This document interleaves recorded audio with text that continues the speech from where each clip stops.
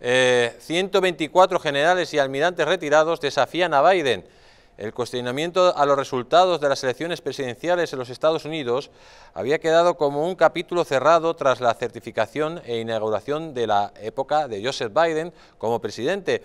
Tanto el fiscal general como la Corte Suprema desestimaron las denuncias de fraude presentadas por el expresidente Donald Trump. Pero un grupo de 124 generales y almirantes retirados ha decidido rebelarse el pasado martes contra el mandatario, cuestionando su elección, así como su capacidad física y mental para ejercer el cargo. Los exmilitares estadounidenses firmantes de una carta hecha pública desafían el resultado de las elecciones presidenciales del año pasado, señalando que el FBI y la Corte Suprema deben actuar con rapidez cuando surjan irregularidades electorales y no ignorarlas como se hizo en el 2020. El documento agrega que la República Constitucional se pierde sin elecciones justas y honestas que reflejan la voluntad del pueblo. La alerta de los firmantes va más allá del resultado electoral. Aseguran que se trata de un conflicto entre los seguidores del socialismo y el marxismo contra los defensores de la Constitución y la libertad. Nuestra nación está en grave peligro. Estamos en una lucha por nuestra supervivencia como república constitucional como en ningún otro momento desde nuestra fundación en 1776. Dejando a un lado el constitucionamiento a las elecciones, los exmilitares afirman que la actual administración ha lanzado un asalto en toda regla a los derechos constitucionales de manera dictatorial, sin pasar por el Congreso haciendo referencia a más de 50 órdenes ejecutivas firmadas de forma expedita por Joseph Biden para desmontar regulaciones establecidas durante la administración anterior. Eh, bueno, Luego directamente también vuelvo a reiterar que este señor, el señor Biden, no está en condiciones ni físicas ni mentales y que el jefe supremo de las Fuerzas Armadas no puede estar eh, en estas condiciones al lado del teléfono rojo. Un señor así, imaginemos que aprieta el botón rojo, que se le olvida las cosas, a lo mejor se cree que está pidiendo el té y, está lanzando una bomba nuclear. Eh, ¿Esto cómo lo ves, Maybor?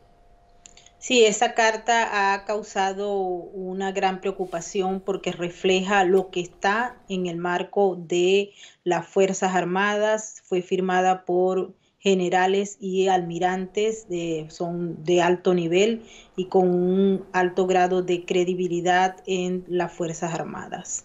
Ellos ah, plantean esto porque en los Estados Unidos se ha visto la aplicación de una agenda progresista de izquierda muy rápidamente y la gente está en descontento, no solamente por la transformación de la estructura del aparato norteamericano, de lo que es el sistema como tal capitalista y democrático, sino también el avance de em, personas y de ideologías que han llegado al poder y que están expandiendo las ideas socialistas en el Congreso, en la misma Corte, en los senados y en las asambleas legislativas estadales. Y por supuesto que crea temor, porque hay un avance significativo del socialismo a nivel internacional con este tipo de agendas progresistas.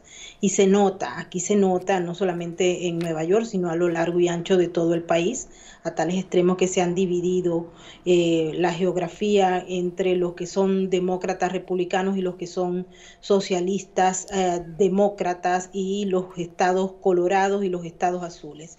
Esto no se había visto desde hace eh, prácticamente desde la fundación, tal cual como lo dicen los militares que firmaron esta carta y que ha sido muy discutida en los ámbitos académicos y también en el Partido Republicano. Hemos visto que hay voces que han salido a apoyar porque tienen temor ante lo que se está viendo y es que Estados Unidos pareciera estar caminando directamente al socialismo y al marxismo.